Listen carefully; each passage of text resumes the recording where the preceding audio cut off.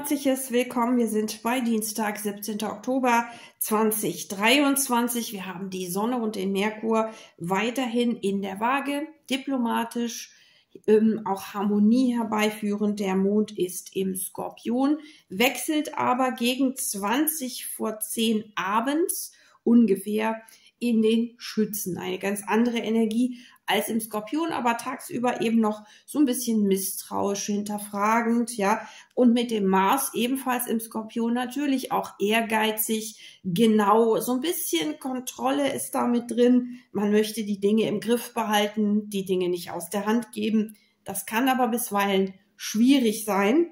Es kann zu Dissonanzen führen, genauso wie mit Venus in der Jungfrau, was eben auch Verlässlichkeit bedeutet, aber auch so ein bisschen Kontrolle ausüben wollen. Man will die Fäden im Griff haben. Passt zur Energie Skorpion, aber macht es nicht besser, sondern vielleicht noch ein bisschen kritischer. Deswegen nicht zu viel Kontrolle, lieber ein bisschen Spontanität und auch ein bisschen Flexibilität auf die Dinge, die Situationen einzugehen. Wir haben den Pluto im Steinbock vorläufig, schon eine Weile. Bedeutet eben Macht- und Ohnmachtthemen können wichtig sein, aber es geht um Verlässlichkeit und langfristige Planungen, auch mit dem rückläufigen Jupiter und dem rückläufigen Uranus im Stier. Also durchaus auch Erdenergien, Pragmatismus, gefühlsmäßig Neptun in den Fischen und das bedeutet eben auch manchmal so ein bisschen Verwirrung, Irritation, aber auch natürlich Einfühlungsvermögen. Der rückläufige Saturn in den Fischen möchte, dass wir uns eben auch selbst an die eigene Nase fassen. Also nicht immer die Dinge aus der Perspektive des Beobachters anderer gegenüber sehen, sondern dass wir mal bei uns vor der eigenen Haustüre schauen, na, wie ist es denn da so und was kann ich da verbessern? Denn letztendlich kann man durch das eigene Vorbild sozusagen auch viel bewegen, wenn man sich darum kümmert. Schauen wir uns jetzt an, was wir heute in den Karten haben und natürlich ab heute Abend 20 vor 10 der Mond im Schützen weckt natürlich Optimismus. Also bis gleich.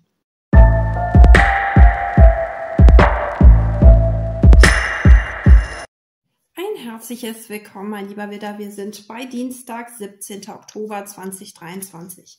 Weiterhin haben wir Sonne und Merkur in der Waage. Wir haben den Mond im Skorpion, allerdings nur bis ungefähr 20 vor 10 heute Abend. Dann wechselt der Mond in den Schützen. Aber tagsüber, wie gesagt, haben wir noch die skorpionische Energie, die liegt ja auch im Mars vor. Also ein bisschen zurückhaltend, vielleicht auch ein bisschen misstrauisch, auch negative Gedanken können aufkommen.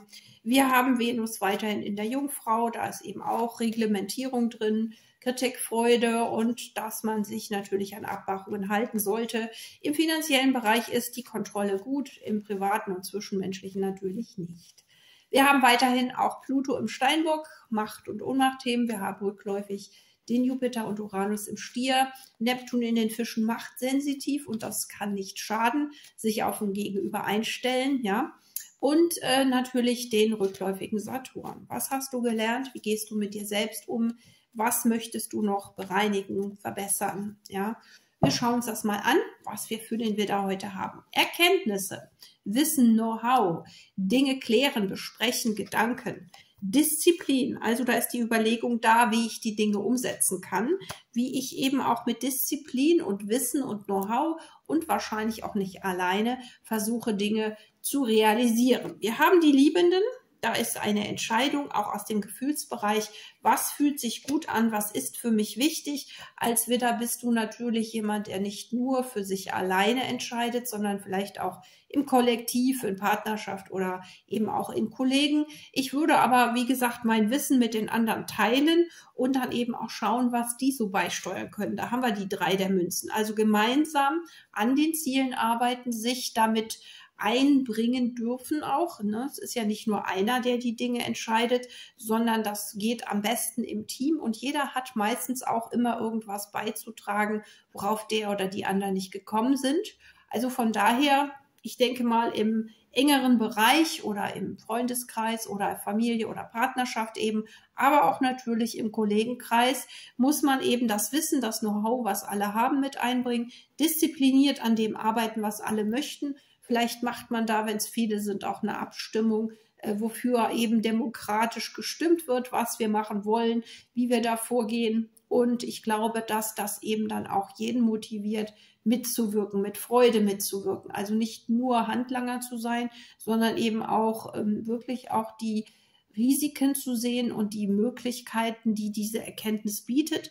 Vielleicht auch untereinander sich besser kennenzulernen, sich besser aufeinander einzustellen, um das zu realisieren, was beide Seiten oder alle drei Seiten, es können ja auch mehrere sein, erreichen wollen. Also gute Gespräche heute können stattfinden. Man kommt sich näher insofern, dass man nach Lösungen sucht. Und das ist großartig. Viel Erfolg dabei. Wir sehen uns, wenn du magst, morgen wieder.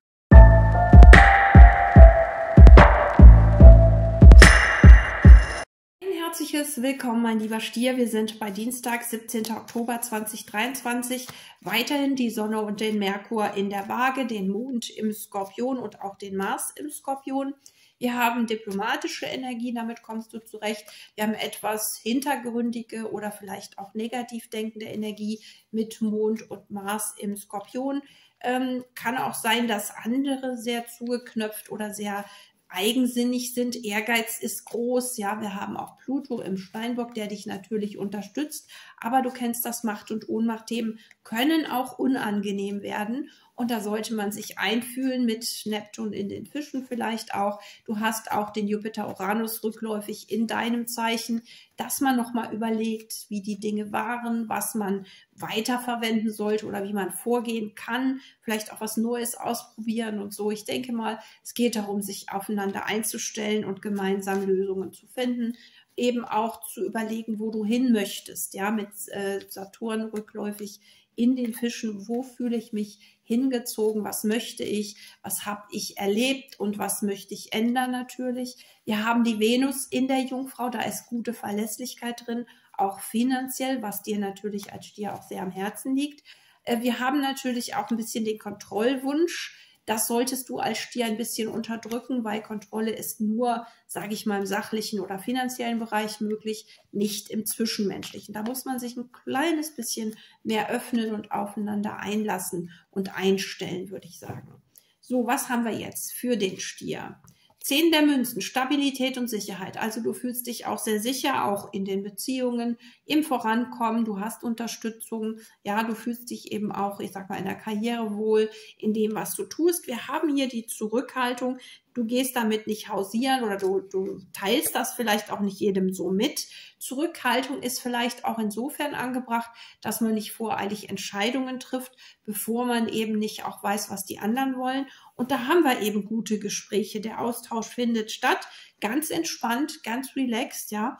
Und man hört sich auch einfach mal an, was so der andere oder die anderen wollen, wo sie hinwollen und Disziplin. Das bedeutet, man stimmt sich auch hier darüber ab, wie können wir das realisieren? Wie können wir uns gegenseitig unterstützen?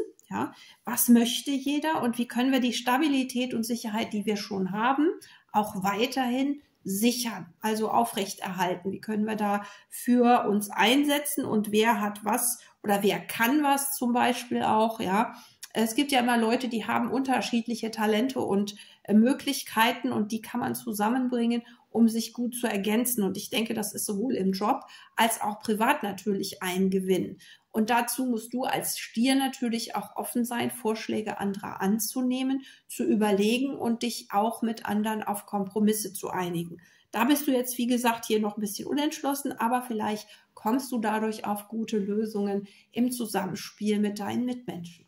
Viel Erfolg heute und wir sehen uns, wenn du magst, morgen wieder.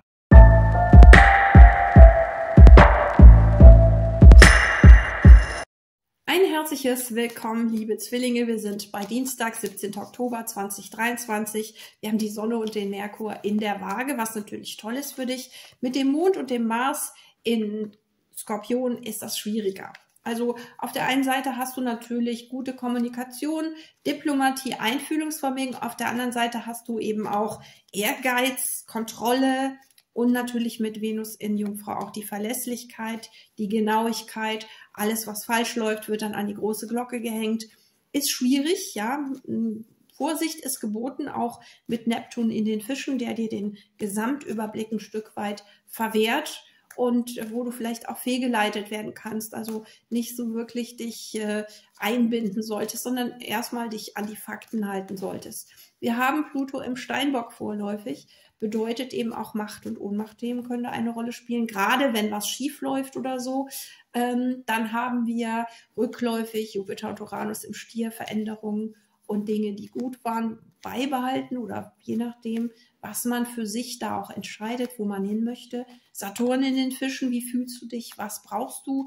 Wo musst du selber auch vielleicht noch Hand anlegen und was für dich und mit dir selber auch verändern? Auch das ist wichtig zu erkennen. Sich ruhig Zeit lassen. Wir brauchen Geduld. Es geht nichts mal ebenso zwischen Tür und Angel. Schauen wir mal, was wir haben. Mit Venus in Jungfrau natürlich auch. Hm, das ist eben auch sehr viel Ehrgeiz und sehr viel Ellenbogenmentalität. Ja, da muss man ein bisschen Acht geben. Wir haben die fünf der Stäbe. Du fühlst dich vielleicht auch so ein bisschen in eine Ecke gedrängt oder vielleicht auch im Wettbewerb mit jemandem. Bleibe ruhig, bleibe entspannt, schau dir die Dinge genauer an, überlege, bevor du etwas machst oder sprich halt auch mit deinen Verbündeten, sage ich jetzt mal. Neun der Kelche Wunscherfüllung. Du hast natürlich auch Wünsche und Gefühle, wo du hin möchtest. Ja, du brauchst eben auch, du, du fühlst dich jetzt momentan, glaube ich, ein bisschen unter Druck. Äh, da ist es wichtig, genügend Pausen einzulegen, um nichts Unüberlegtes zu tun. Gefühlsmäßig hast du mit der äh, Hohepriesterin auch das Wissen darum, wo jetzt momentan vielleicht auch die Gefahrenzonen sind oder wo du dich wenn du nicht aufpasst, ins Fettnäpfchen setzen könntest. Hier die vier der Schwerter ist eben auch Ruhephase, aber es sind auch Gedanken und Gespräche, ja. Und das ist wichtig, dass du in aller Ruhe eben auch dich mit den Leuten abstimmst, die dir dabei helfen können, den richtigen Weg zu finden, wie du jetzt mit der Situation auch umgehen kannst. Ich denke, es ist auch Unterstützung, es ist auch Mut machen, ja, es ist sich gefühlsmäßig einlassen. Vielleicht bist du auch gefühlsmäßig irritiert, unsicher oder hast Angst sogar. Dann ist es umso wichtiger, dich mit anderen zu verbinden und da eben auch die Unterstützung zu suchen und auch ruhig einen Rat einzuholen und sich da nicht jetzt kopflos in irgendwas zu stürzen oder ganz schnell irgendwas zu entscheiden. Besser ist es, da Rücksprache zu halten, denn du bist sehr nervös und mit dem Neptun in den Fischen kannst du sehr schnell, sagen wir mal, einem Angebot auf den Leim gehen, was nicht wirklich gut ist. Also abstimmen, überlegen, langsam machen. Viel Erfolg dabei. Wir sehen uns, wenn du magst, morgen wieder.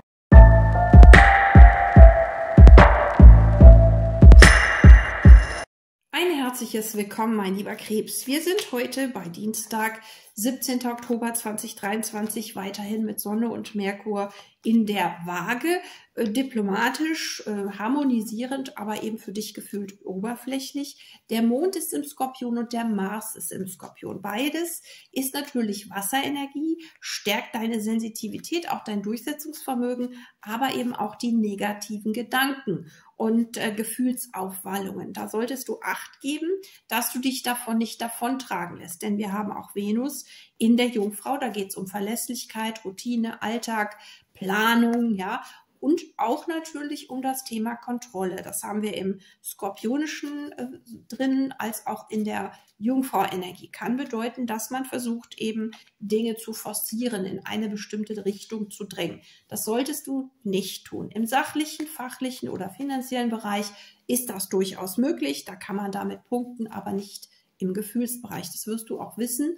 Du bist intuitiv, du wirst merken, dass sich jemand nicht äh, zu irgendwas überreden oder hindrängen lässt, ja.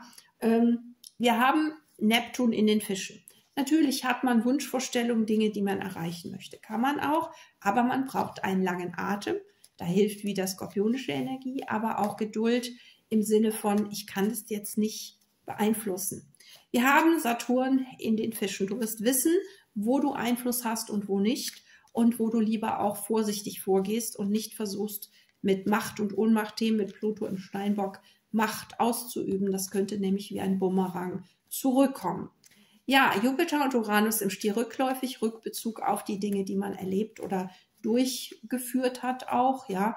Äh, einfach mal schauen, wie bin ich damit umgegangen und wie geht es mir mit Saturn in den Fischen? Wie fühle ich mich? Was möchte ich erreichen? Und wo kann ich aus meiner Warte noch was verbessern. Wir haben für den Krebs den Mond. Da ist etwas, was dich bekümmert, etwas, was dich beschäftigt. Da haben wir die Ausgewogenheit, Ausgeglichenheit, Gefühl und Intellekt in Einklang bringen. Und wir haben den Eremiten. Das ist nämlich die Jungfrau-Energie, die versucht, diesen Zustand herzustellen, in dem vielleicht die Gefühle so ein bisschen ähm, unterdrückt werden oder beiseite geschoben werden.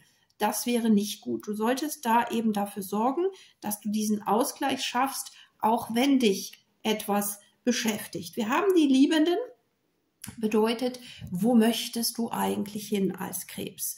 Ja, was ist dein Ziel, gefühlsmäßig wie auch fachlich? Und was stört? Was ist das, was dir Angst macht, was du befürchtest? Ja, wie bekommst du das in Einklang? Durch Überlegung und natürlich Ratio, also Rationalität. Eben nicht nur durch Gefühl. Deine Intuition leitet dich, aber du kannst dich nicht nur auf sie besinnen. Du musst ja auch schauen, was passiert in meiner Umgebung? Wie sind die Leute unterwegs?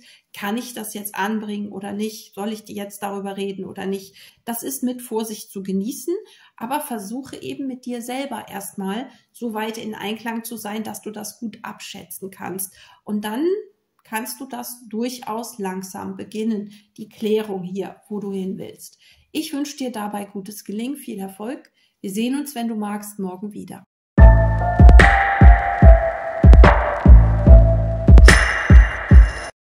Herzliches Willkommen, mein lieber Löwe. Wir sind heute bei Dienstag, 17. Oktober 2023. Sonne und Merkur weiterhin in der Waage unterstützen dich, erhöhen natürlich auch deine Ansprüche.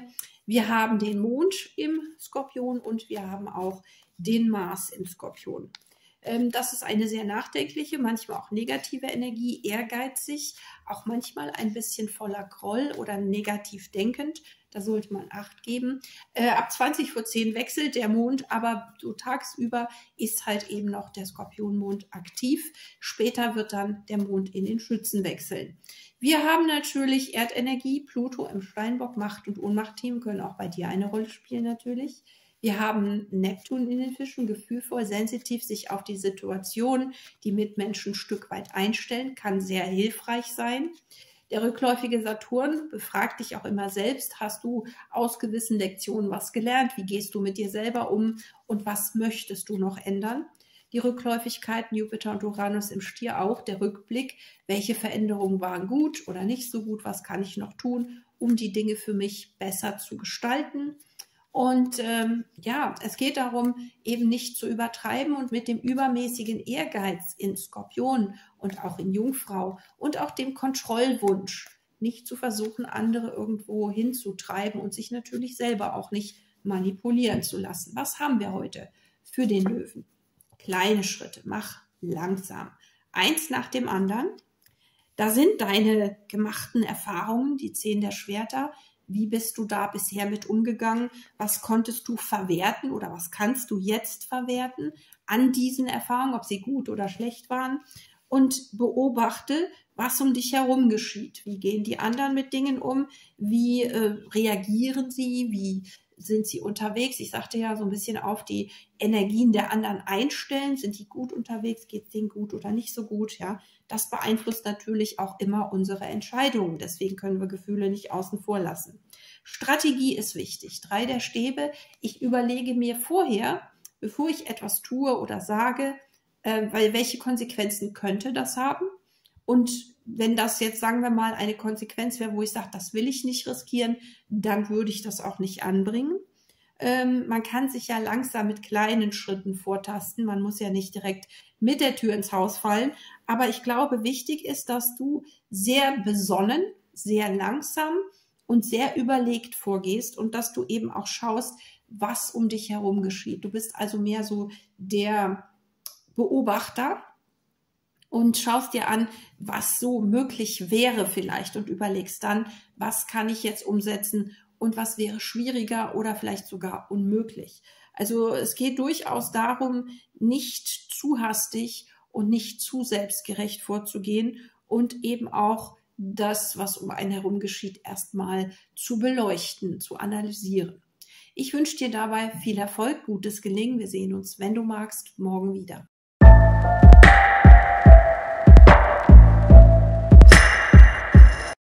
Herzliches Willkommen, liebe Jungfrau. Wir sind heute bei Dienstag, 17. Oktober 2023 mit Sonne und Merkur weiterhin in der Waage. Charme, energetisch, diplomatisch kann man natürlich gut vorankommen.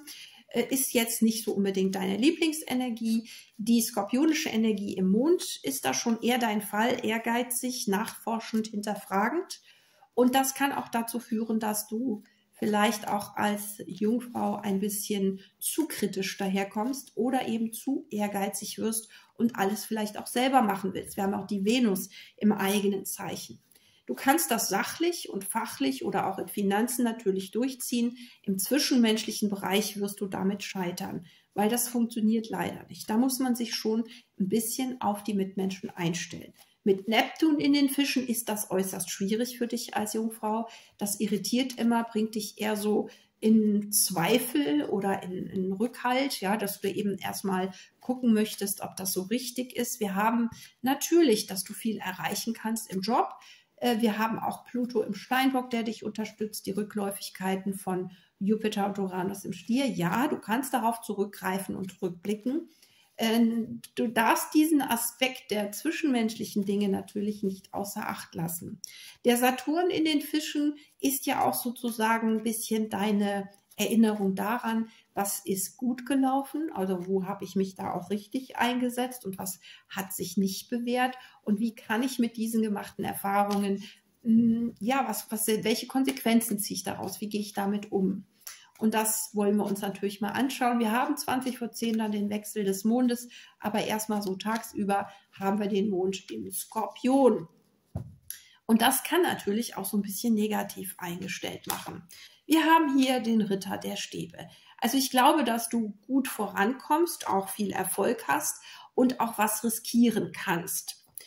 Der Ritter der Münzen sagt dir, du solltest aber Geduld haben. Du musst dich in Geduld üben. Denn wenn du jetzt irgendwie zu viel riskierst oder vielleicht auch deine Kompetenzen, sag ich mal, überschreitest oder so, dann machst du mehr kaputt, als dass du erreichst. Also gilt es natürlich da genauer hinzuschauen. König der Kelche ist auch die skorpionische Energie ein bisschen zurückhaltend zugeknöpft, ja, auch ein bisschen natürlich abwägend, aber auch feinfühlend, also nicht über andere hinweg, nicht zu dramatisch oder zu zu provokativ vorzugehen, sondern das ruhige Gespräch zu suchen. Sechs der Schwerter ist entspannte Diskussion, entspannte Gespräche, ja. Dabei ist man fürsorglich entgegenkommt. Das reicht auch, wenn man manchmal nur zuhört. Man muss jetzt nicht immer was Gutes sagen oder so.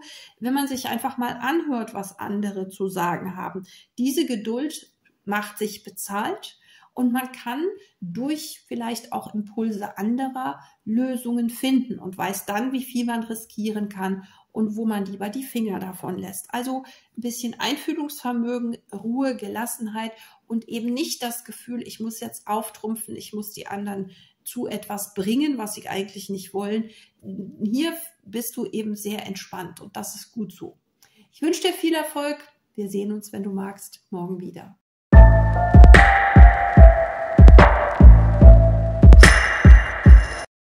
Herzliches Willkommen, liebe Waage. Wir sind bei Dienstag, 17. Oktober 2023. Wir haben die Sonne und den Merkur in der Waage. Wir haben den Mond im Skorpion. Der wechselt zwar 20 vor 10 heute Abend, aber tagsüber ist er durchaus noch wirksam.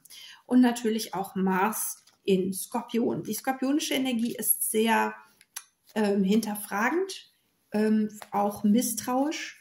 Negative Gedanken können überwiegen da muss man ein bisschen aufpassen. Die überwiegen ja nicht nur bei dir, sondern auch bei den anderen. Man sollte sehr vorsichtig vorgehen. Und auch mit der Venus in Jungfrau haben wir eine sehr kritische Energie, also kritisch im Sinne von, man schaut auf die Fehler und wenn jemand jetzt zu spät kommt oder so, wird das richtig aufgepusht. Wir haben natürlich da auch Verlässlichkeit drin, gute Planung, aber im zwischenmenschlichen Bereich ist diese Kontrolle nicht angebracht, auch für die skorpionische Energie nicht. Im finanziellen und so ist es natürlich gut. Da kann man sich darauf verlassen. Aber wie gesagt, zwischenmenschlich sollte man offen sein und flexibel auf das, was einem begegnet. Wir haben Neptun in den Fischen. Einfühlungsvermögen ist da, ja. Ähm, wir haben auch den rückläufigen Saturn. Achte auf dich selbst, auf das, was du verbessern kannst für dich und natürlich auch im Außen. was du auch möchtest natürlich. Und wir haben rückläufig den Jupiter und den Uranus im Stier. Das sind auch der Rückblick auf die Dinge, die in der Vergangenheit so passiert sind und wo man sich bewährt hat und wo es nicht so gut geklappt hat. Wir haben ja auch Pluto im Steinbock vorläufig und das ist eben auch Macht und Ohnmachtthemen können eine Rolle spielen. Dein Charme und dein Entgegenkommen können dabei natürlich auch mithelfen, die Dinge voranzubringen, aber man sollte sich nicht überschätzen und man sollte natürlich auch nicht ich sage jetzt mal, versuchen zu manipulieren. Wir haben kleine Schritte, der Page der Münzen für die Waage, langsam machen, zurückhaltend sein, zwei der Schwerter, noch keine Entscheidung treffen und das Team. Also es geht auch in Bezug auf das Team, dass man nicht zu voreilig äh, beurteilen sollte, sondern erstmal schauen sollte, wie sich die Dinge entwickeln und vielleicht ist es auch so, dass in Zusammenarbeit mit anderen, ob das jetzt Partner, Familie, Kollegen, Freunde sind, dass man da auf neue Ideen kommt. Denn wir haben die Acht der Kelche. Ich glaube, dass die Richtung, in die du dann gehst oder für die du dich dann mit anderen zusammen entscheidest, eine andere ist als die, die du zum Beginn des Tages überlegt hast. Aber das muss nicht schlecht sein. Du bist ja auch, ich sag mal, kommunikativ auch in der Lage, dich auf Neues einzustellen und eben auch flexibel zu reagieren. Und deswegen mach langsam, hab keine vorgefertigte Meinung oder Vorgaben, hm, pass dich ein Stück weit an und arbeite mit anderen zusammen und schau mal, was dabei rauskommt. Das ist so ein bisschen ins Blaue hineingehen, aber es kann durchaus sehr ähm, ich sag mal, beflügelnd sein. Also man kommt auf neue Ideen, so eine gewisse Offenheit und ich weiß noch nicht, was draus wird, aber wir schauen mal, ist heute so die Devise des Tages für die Waage. Ich wünsche dir dabei viel Erfolg. Wir sehen uns, wenn du magst, morgen wieder.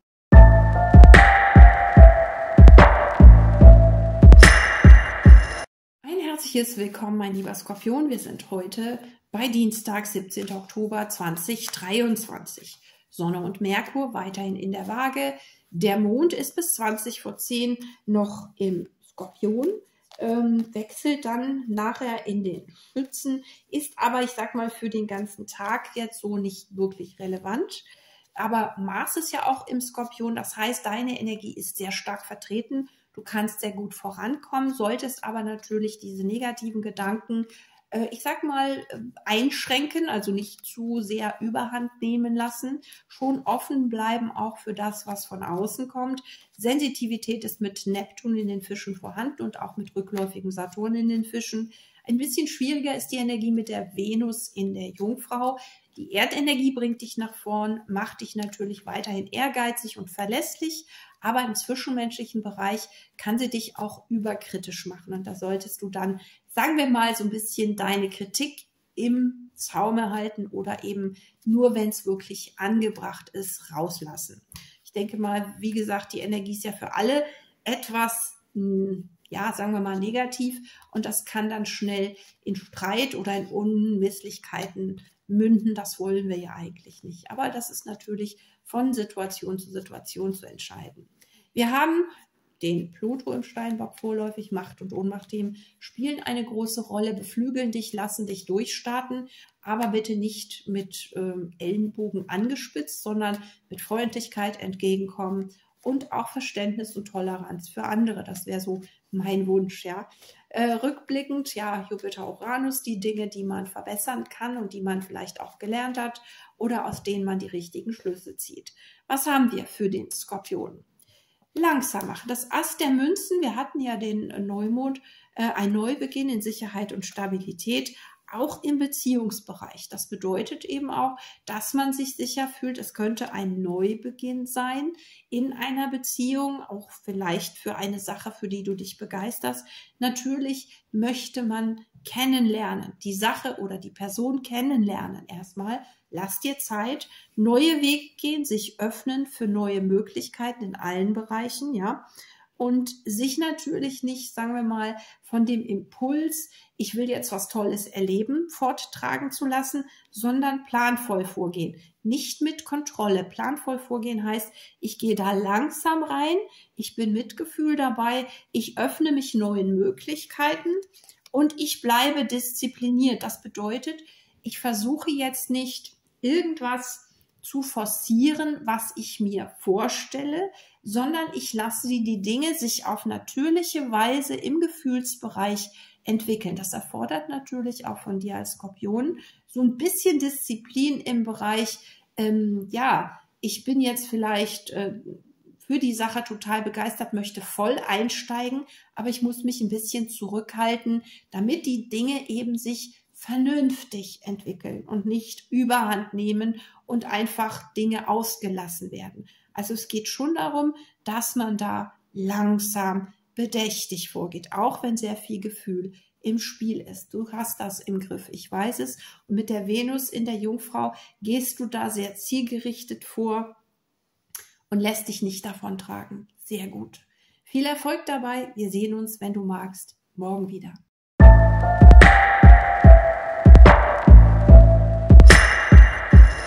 Ein herzliches Willkommen, mein lieber Schütze. Wir sind bei Dienstag, 17. Oktober 2023. Wir haben die Sonne und den Merkur weiterhin in der Waage. Der Mond befindet sich im Skorpion, genauso wie Mars. Skorpionische Energie ist so ein bisschen negative Gedanken, alles hinterfragen, unsicher sein, vielleicht auch genauer hinschauen, was nicht schlecht ist, aber man kann dahingehend natürlich übertreiben. Die äh, vage Energie ist natürlich gut für dich, gute Kommunikation, Ausgeglichenheit, Diplomatie, das kann nicht schaden. Schwierig ist es dann wiederum mit Neptun in den Fischen, der so ein bisschen den Blick fürs Wesentliche verwirrt oder vielleicht auch ein bisschen vernebelt. Ja, man sollte aufpassen, vorsichtig vorgehen, nicht zu hastig natürlich. Wir haben mit der skorpionischen Energie eben auch negative Gedanken und das, was wir denken, manifestieren wir. Also achte darauf, nicht zu negativ zu sein. Wir haben den Pluto im Steinbock vorläufig. Macht und Ohnmachtthemen können vorkommen, können natürlich etwas Wichtiges bedeuten, je nachdem. Die Situation muss genau betrachtet werden. Wir haben dann die Venus in Jungfrau. Jungfrau-Energie ist auch nicht etwas, womit du gut zurechtkommst. Es geht um Zuverlässigkeit, dranbleiben, die Dinge regeln, gut vorbereitet sein. Das kann im finanziellen und auch im sachlichen gut sein. Im Zwischenmenschlichen funktioniert das nicht so gut, zumal wir da auch kritische Energien haben, also dass man sehr leicht kritisch reagiert oder agiert. Mit der Skorpionenergie zusammen kann das eben dazu führen, dass man einfach alles zu schwarz sieht. Da musst du deinen Optimismus beflügeln. Wir haben rückläufig Jupiter und Uranus im Stier. Rückläufig bedeutet immer Rückblick, schauen, was gut funktioniert hat, natürlich auch in Bezug auf deine eigenen Erfahrungen. Der rückläufige Saturn in den Fischen, der möchte ja auch, dass du darauf achtest, wie du dich fühlst, ob du deine eigenen Ressourcen nutzt, beziehungsweise deine Erfahrungen auch umsetzt in neue mögliche Perspektiven. Wir schauen uns an, was wir am heutigen Dienstag für dich haben. Ja, Nervosität, Unruhe, vielleicht auch ein bisschen fahrig, Unkonzentriertheit, gerade so im Job auch, vielleicht auch Wettbewerbsgedanken und Verantwortung. Also du bist dir der Verantwortung, die du trägst, schon bewusst. Du solltest auch schauen, dass du eben auf diese Wettbewerbssituation nicht überreagierst, sondern eben genau in Ruhe Erdenergie schaust, was zu tun ist, was anliegt und dich nicht selber versuchst da irgendwie zu beflügeln im Sinne von, ich mache jetzt mehr, sondern kümmere dich um das, was wirklich ansteht, auch gefühlsmäßig natürlich. Verantwortung tragen bedeutet wissen, was jetzt wirklich zu tun ist. Wir haben Veränderung, Transformation kann bedeuten, dass sich etwas ändert in Bezug auf Verantwortung. Entweder gehst du neue Verantwortung ein oder es wird dir was auferlegt, das kann auch sein. Wichtig ist, dass du dich davon nicht verrückt machen lässt und auch nicht denkst, du müsstest jetzt, wer weiß was, bewerkstelligen. Bleib auf dem Teppich und mache bitte eins nach dem anderen. Geduld ist wichtig. Das Gesamtbild ist dir noch nicht klar. Du bist flexibel als Schütze und der Mond wechselt heute Abend ja auch 20 vor 10 etwa in dein Zeichen und gibt dir die Kraft und den Optimismus, den du brauchst. Viel Erfolg wir sehen uns, wenn du magst, morgen wieder.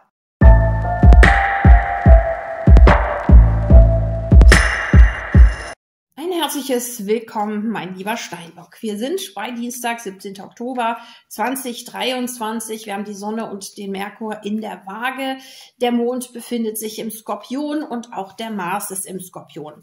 Waageenergie ist diplomatisch, friedenstiftend natürlich, charmant. Die skorpionische Energie ist eher negativ eingestellt, misstrauisch und hinterfragend, wobei hinterfragen nicht immer schlecht sein muss, aber eben es kann so ein bisschen in die negative Ecke rücken. Pass auf, dass du dich nicht zu negativ auf Dinge oder Menschen einstellst. Wir haben den Pluto im eigenen Zeichen. Macht- und Ohnmachtthemen können eine wichtige Rolle spielen. Und auch da sollte man nicht zu sehr in die negative Ecke rücken. Wir haben den Neptun in den Fischen, der eben Sensitivität auch mit reinbringt. Das ist wichtig, sich auf die Energien der anderen Menschen einzustellen und nicht, wie gesagt, nur das Schlimmste anzunehmen. Die Venus in der Jungfrau macht zuverlässig, äh, auch gut planbar, ist eben auch sehr pragmatisch, wie eben auch deine Energie. Man kann gut vorbereiten, ist gut gewappnet, auch für das Alltägliche. Aber im Gefühlsbereich kann Kontrolle oder zu kritikfreudig zu sein eher schaden als nützen. Also ist Sensitivität eben auch wichtig. Rückläufig haben wir Jupiter und Uranus im Stier, die eben auf gemachte Erfahrungen und Dinge hinweisen, die man entweder wieder aufleben lässt oder wo man eben Veränderungen vornehmen kann. Dann haben wir natürlich auch noch äh, den rückläufigen Saturn in den Fischen, eben auch auf seine eigene Gefühlswelt achten und auf die Dinge, die einen bewegen oder die man eben aus der Welt schaffen möchte. Das sollte man auch weiterhin versuchen. Der Mond wechselt gegen 20 vor 10 in den Schützen, ist also für heute Abend oder morgen dann eben eine etwas, ja, ich sag mal, optimistische Energie. Was haben wir heute für den Steinbock? Die drei der Schwerter, Enttäuschung, es kann was schiefgehen, du bist enttäuscht oder eben auch von Grund auf negativ eingestellt. Das ist vielleicht die skorpionische Energie. Mit der hohe Priesterin Sensitivität, Einfühlungsvermögen. Das bedeutet aber auch, dass du genau weißt, woher diese Gefühle kommen, warum sie da sind und was du auch dagegen tun kannst. Du hast eine solide Basis, Sicherheit und Stabilität mit den vier der Stäbe und deswegen ist es wichtig, dass du dich mit dieser Sicherheit und Stabilität, dem richtigen Background eben darum kümmerst, diese Dinge, die dir entweder Schmerz, Frust oder irgendwie Zorn oder so heraufbeschwören, dass du daran arbeitest. Wir haben die Zehn der Kelche, da ist ganz viel Liebe, ganz viel Gefühl drin. Das kann natürlich auch die Liebe eines Partners, einer Partnerin sein oder eben auch, dass du, was du tust, gerne machst, liebst, also voll darin aufgehst. Also kümmere dich um das Positive, schaffe das Negative aus der Welt, beziehungsweise zieh aus dem Negativen das Positive. Denn alles, was nicht gut läuft, ist immer ein Hinweis darauf, ich kann es besser machen. Ich kann da mehr bewegen. Und darum kannst du dich liebevoll auf das konzentrieren, was dir Sicherheit und Stabilität gibt. Und das kann vieles sein. Viel Erfolg dabei, gutes Gelingen. Wir sehen uns, wenn du magst, morgen wieder.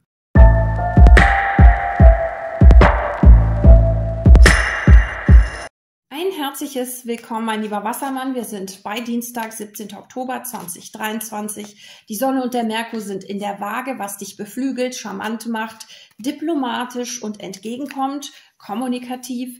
Der Mond ist im Skorpion, ähm, auch der Mars ist im Skorpion. Man geht also an die Dinge eher mit, ich sag mal, Zurückhaltung ran. Oder man möchte es genauer wissen. Man möchte auch eine gewisse Kontrolle ausüben. Das ist riskant, solange das zwischenmenschlich ist. Im sachlichen oder finanziellen Bereich ist das okay. Wir haben ja auch die Venus in der Jungfrau. Gut geplant, gut vorbereitet kann man da große Erfolge erzielen. Auch der Pluto im Steinbock ist da.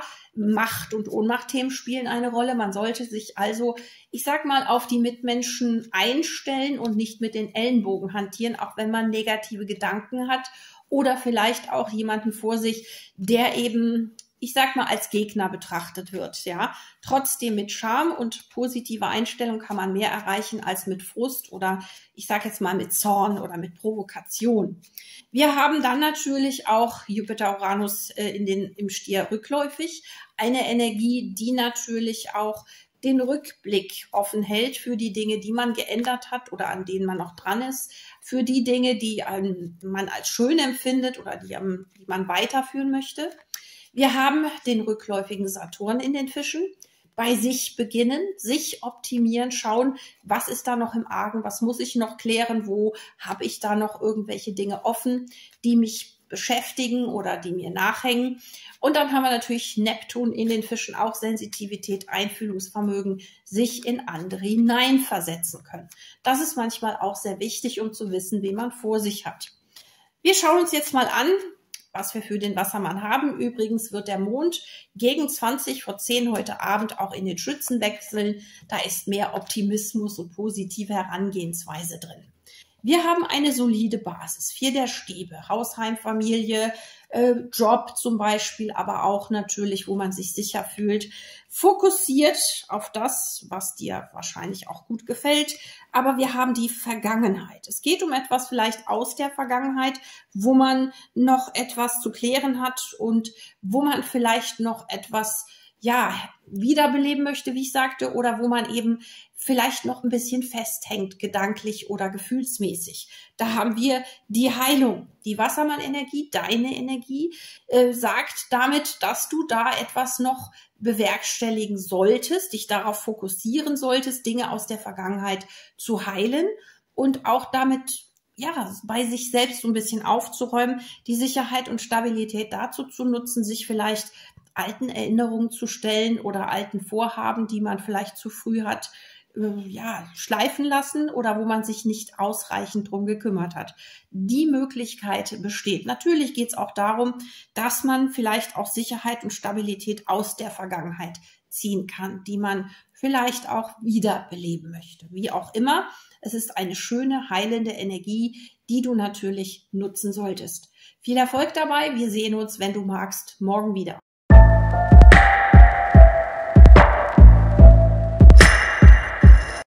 Herzliches Willkommen, liebe Fische. Wir sind bei Dienstag, 17. Oktober 2023.